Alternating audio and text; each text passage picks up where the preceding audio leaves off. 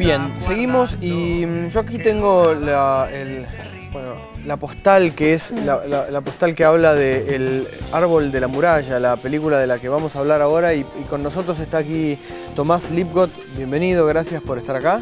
Gracias por la invitación. Eh, vamos, a, a- vamos a hacer las cosas en orden. Vamos, Vamos a a ver el tráiler. y después Primero hablamos. primero. Vale. Que estuve allá, como dice Wiesel, nunca pude transmitir que vivía. Y que no estuve allá nunca se puede imaginar.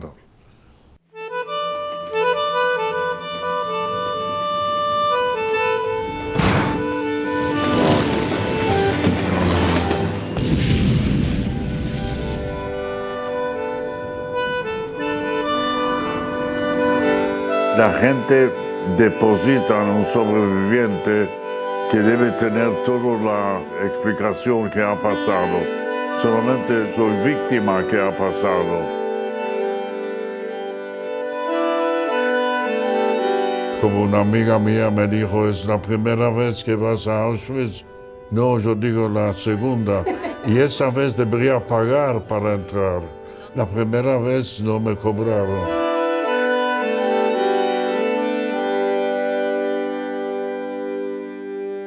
¿Cómo andas? Bien, ¿por qué no venden los diarios?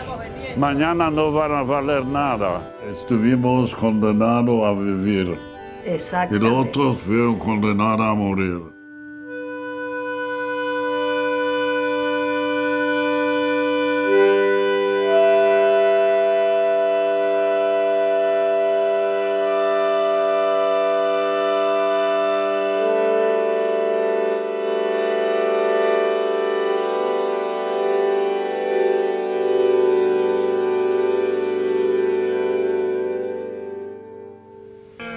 Bueno, ahí veíamos imágenes del, del documental que narra la historia de Jacques Fuchs, ¿se dice así? Fuchs. Fuchs.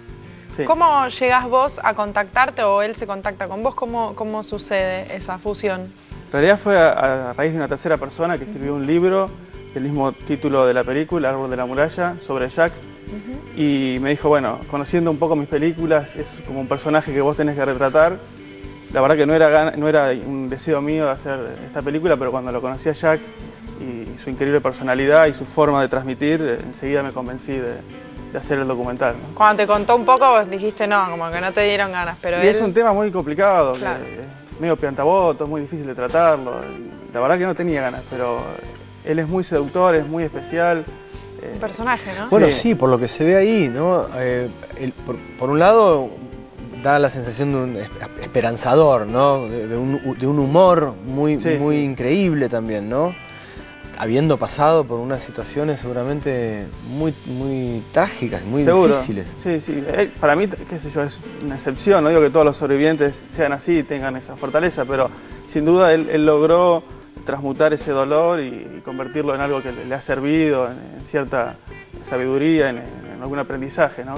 Eh, y él, él tiene casi 90 años, vive solo. y yo voy a comer casi todas las semanas, mañana me toca y, y cocina y se, se enoja si vas a levantar un plato para lavarlo. Es, es increíble, digamos, es muy difícil de creer que haya pasado por todo eso. ¿no?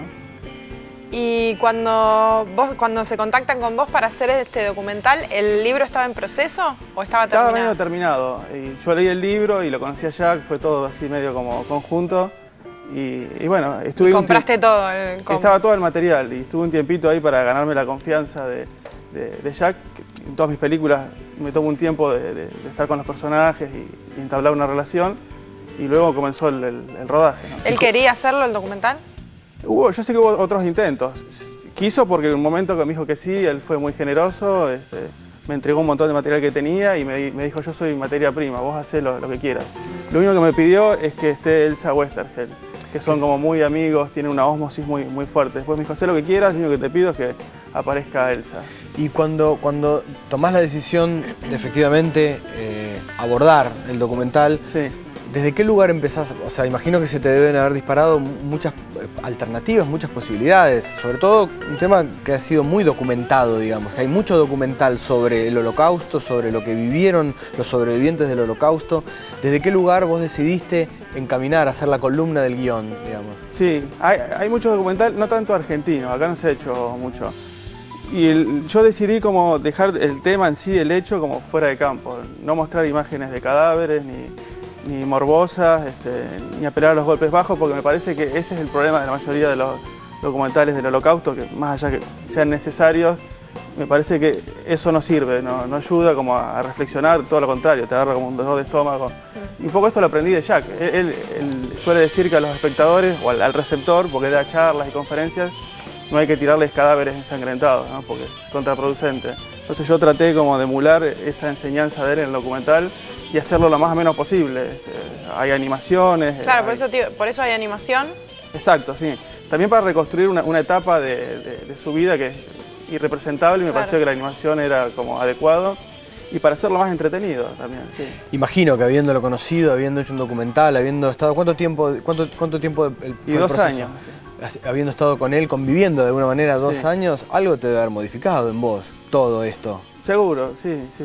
No sé bien qué, pero me, me dio como otro, otro entendimiento de ciertas cosas. Porque vos venís de, también de abordar la historia de otros personajes también muy, muy, muy, muy importantes, muy llamativos, muy este, excepcionales, digo, no sé, lo de Moacir dos Santos, el, el músico, el documental que vos hiciste hace un tiempo, también estamos hablando de un personaje muy particular. Sí, sí, se ve que tengo cierta como atracción por esos personajes que son eh, muy eh, extremos, que vivido situaciones como muy difíciles, de mucho dolor, pero que han logrado trascenderlas, que eso no ha sido una limitación.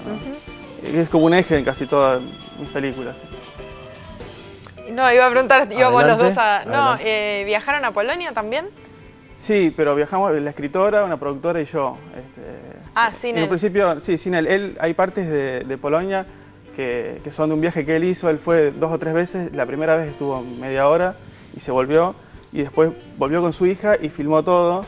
Y son las imágenes que, se ven en, la película que para mí son de las mejores porque tienen como una frescura muy fuerte y, él se pone a cantar, recita poesías y son como muy, muy conmovedoras. ¿Son esas que se ven de su hija chiquitita? No. No, esas son imágenes son otras. De, Super 8 de su familia, esas son otras. ¿Tiene, ¿Tenía material? O sea, ¿tiene material? un montón. Cuando, bueno, cuando él, eh, cuando convenimos a hacer la película, abrió un placar y me dijo, todo esto es tuyo. Tenía 100 VHS con 150 horas de, material. Iba mucho a la televisión y, las imágenes Super 8, los viajes a Polonia, todo eso me lo cedió. Me dijo, haz lo que quieras con, con todo esto. Tomás, ¿dónde se puede ver la película? La película eh, se estrenó la semana pasada en el Gomón, pero cerró justo hoy por remodelación y porque afortunadamente lo compraron y a partir de mañana está en la Cinemateca de, Braica que reabre después de 19 años y la semana que viene eh, va a estar en el Teatro San Martín y en el Monumental Lavalle. Cuando yo veía el afiche de ese árbol, eh, ese árbol que nace de, una pared, me recordó una imagen de un, viaje en La Habana, en Cuba, en donde efectivamente en un edificio muy, muy, muy viejo salía un, un árbol, salía un árbol, crecía un árbol a 20 metros de altura. Esto está en la historia, ¿no? Sí, un poco voy a revelarlo, pero tampoco es un, no, pasa nada. Él mismo lo cuenta y es una metáfora que él, que él hace en su infancia en Polonia. En invierno eh, había una muralla y hacía mucho frío y él veía cómo crecía un arbolito muy chiquitito, que el viento lo, hacía ir y venir, que perdía las hojas y todo, pero que en primavera el árbol volvía a resucitar. Entonces él hace como una analogía con su vida. Así que el título también me lo regaló él, yo tuve que sacarlo y ponerlo nada más. ¿Y a él le gustó el documental? Sí, sí, él está, está contento porque está teniendo mucha repercusión y, es un poco su mensaje, su legado y él sabe que hoy en día, eh, él escribió dos libros, pero que hoy en día el asunto pasa más por lo audiovisual que por los libros, entonces le interesa la difusión que puede tener su mensaje. ¿no? Gracias, Tomás. Muchas gracias. Gracias a ustedes por la invitación. Gracias. Vamos al corte, señorita Conte. Vamos, me parece perfecto, siendo las 15.43. Bien. La temperatura te la dejo, ya venimos.